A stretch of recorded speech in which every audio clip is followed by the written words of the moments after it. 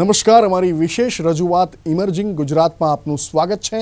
હું છું મૌલિક મહેતા અને આજે આપણી સાથે એક એવા વ્યક્તિ છે કે જે ડાય મેન્યુફેક્ચરિંગની અંદર પોતાની આગવી ઓળખ ધરાવે છે. આપણી સાથે છે ચિરાગભાઈ વોરા. ચિરાગભાઈ વોરા અમદાવાદના વટવામાં આવેલી Deep dyes and intermediate private limited કંપનીના મેનેજિંગ ડિરેક્ટર અને ચેરમેન છે. ખૂબ જ નાની ઉંમરે તેમણે ખૂબ જ પ્રગતિ કરી છે અને આજે દુનિયામાં ડાઈ સૂત્રે દીપ કંપનીનું ખૂબ જ મોટું નામ છે. અને આ જ ચિરાગભાઈ આજે આપણી સાથે સ્ટુડિયોમાં છે. ચિરાગભાઈ સ્વાગત છે આપનું વિશેષ કાર્યક્રમ ઇમર્જિંગ ગુજરાતમાં. થેન્ક યુ કંઈક અલગ કરવું છે અનોખું કરવું છે અને મોટું કરવું છે. બસ આવો જ આપનો સ્વભાવ અને આજે આપ એક સફળ ઉદ્યોગપતિ બન્યા છો. આ સફર આપની કેવી રહી? સફર ખરેખર રોમાંચક રહી. અમારી company Deep dyes and intermediate private limited અમે લોકો ડાયસ્ટપ બનાવીએ છીએ જીઆઈડીસી વટવામાં. અને આશરે ઓગણીસો નવ્વાણુંની આસપાસ અમે આ ફેક્ટરી ચાલુ કરી હતી. પર્ટિક્યુલર એક ઓરેન્જ કલર છે, જેમાં અમે લોકો ખાસા નોન છીએ. ઓરેન્જ એક સેન્સિટિવ કલર છે. અને એ જરાક બી રેડિસ કે જરાક બી ઓરેન્જીસ હોય તો એમાં તમને ઓરેન્જનો એટલો પરફેક્ટ ચામ મળતો નથી.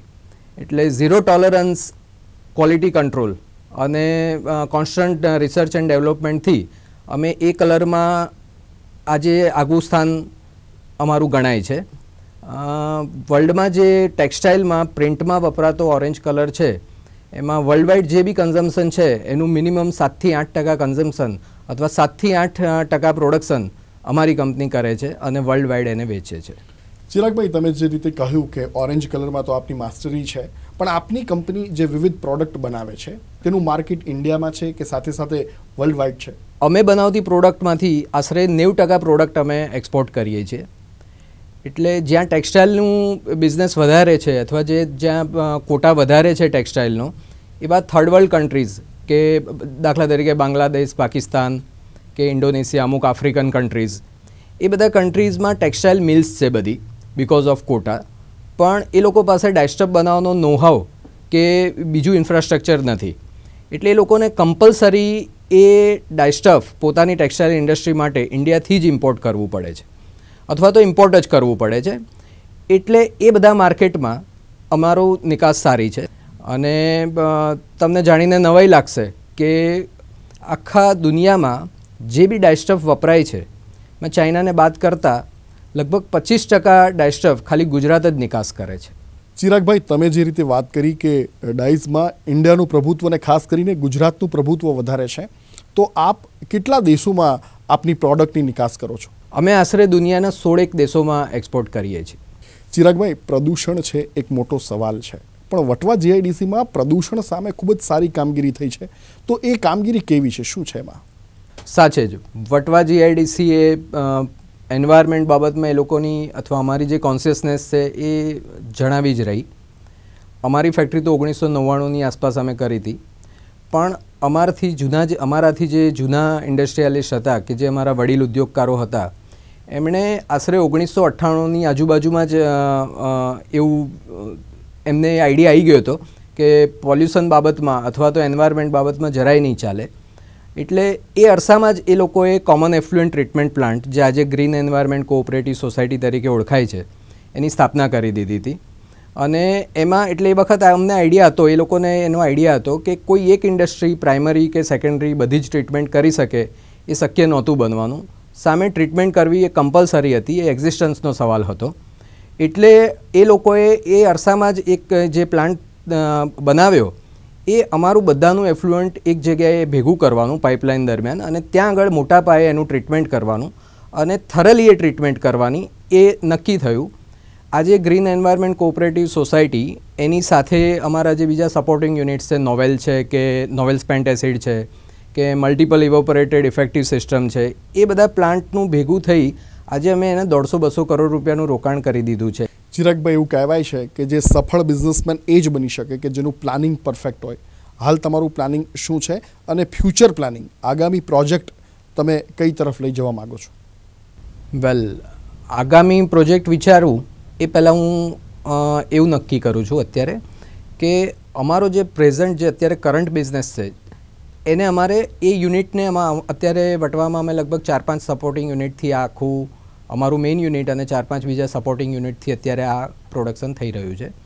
હું આ કરંટ પ્રોડક્શનને પહેલાં તો કોન્સોલિડેટ કરવા માગું છું. એમાં કોઈ બીજી ક્વેરી રહી ગઈ હોય, કંઈ બી હોય તો એને વધારે સ્ટ્રોંગ કરવાનું ઈચ્છું છું. ક્યુસી આર એન ડીમાં હું ફર્ધર વધારે ઇન્વેસ્ટમેન્ટ કરવા માગું છું. તદુપરાંત, હું મારો પોતાનો, જે અમે જે ગ્રીનમાં જે અમારો કોમન પ્લાન્ટ છે એમઈનો મલ્ટિપલ ઇવોપરેટેડ ઇફેક્ટિવ સિસ્ટમનો એવું મારો પોતાનો, એટલે મારી આજની જે ફેક્ટરી છે એને વધારે એની સપોર્ટ સિસ્ટમ વધારે સ્ટ્રોંગ કરવા માટે હું મારો પોતાનો એમઈ પ્લાન્ટ લગાવવા માગું છું. ચિરાગભાઈ જે રીતે તમે ફ્યુચર પ્લાનિંગની વાત કરી હાલ તમે ઓરેન્જમાં જે છથી સાત ટકાનું જે કામ કરો છો એને તમે શું આગળ ધપાવવા માગો છો? ચોક્કસ કારણ કે અત્યારે અમે લગભગ છથી સાત ટકા આઠ ટકા જેટલું ઓરેન્જનું પ્રોડક્શન અમારી કંપની કરે છે. હું જે રીતે વિચારું એ રીતે જો ઇફ એવરીથિંગ ગોઝ રાઇટ તો કદાચ બે હજાર વીસની આસપાસ અમે લોકો વર્લ્ડ લાર્જેસ્ટ પણ થઈ શકીએ. વર્લ્ડ લાર્જેસ્ટનો શહેર મારી ગણતરી પ્રમાણે બારથી તેર ટકાનો હશે. કહેવાય છે કે તંદુરસ્ત હરીફાઈ હોય એ સારી ઉદ્યોગ માટે. પણ ચાઇનાની હરીફાઈ વિશે આપ શું કહેશો? ચાઇના ની વાત કરીએ તો આપણા માટે એક પહેલો પ્લસ પોઈન્ટ એ છે કે કોઈ પણ કારણથી આપણી ઇમ્પ્રેશન વધારે રિલાયબલની છે. એઝ ફાર એઝ ક્વોલિટી અથવા કમિટમેન્ટની વાત કરીએ તો Indians are more more reliable કારણ કે એ લોકો કોઈ વાર કંઈ કમિટ કરે એવું બની શકે કે એ લોકો કન્સાઇનમેન્ટ કોઈ સોદો થઈ ગયો હોય પણ એ કન્સાઇનમેન્ટને એ લોકો ફૂલફિલ ના કરે જો ભાવની વધઘટ હોય તો એ લોકો બેકઆઉટ કરી લે. આપણે લોકો ક્યારેય બેકઆઉટ નથી કરતા. જો વાત કરીએ ઇમર્જિંગ ગુજરાતની તો આપ ગુજરાતને અત્યારે વિકાસના નકશામાં ક્યાં જુઓ છો? અને તમે શું માનો છો પર્ટિક્યુલર ગુજરાત એ પરિશ્રમી લોકોની ભૂમિ છે. અને હાર્ડવર્ક અને એની સાથે ટિપિકલ રિસ્ક લેવું, એ બધું અહીંયા ગળથુથીમાં સમાયેલું છે. એટલે જ દુનિયાભરમાં વિકાસનો ડંકો વગાડનાર તમામ લોકો અહીંથી જ થયેલા છે. અને હું એ વિકાસનો એક બહુ જ નાનો તો નાનો ભાગ છું, એનો મને ગર્વ છે. એટલે અમદાવાદ અને ગુજરાતની આ ભૂમિ નો ચામ કંઈક અલગ જ છે.